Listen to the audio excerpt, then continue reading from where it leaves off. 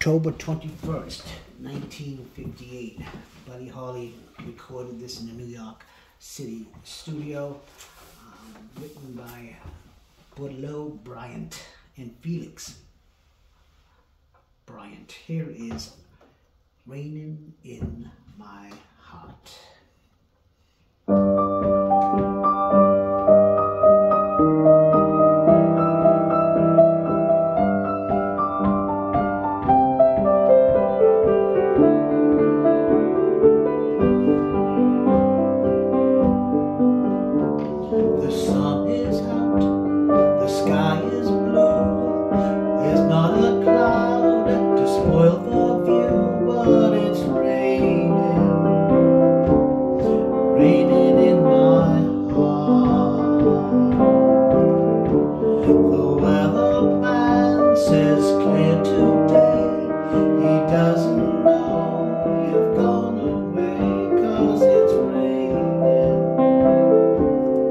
raining.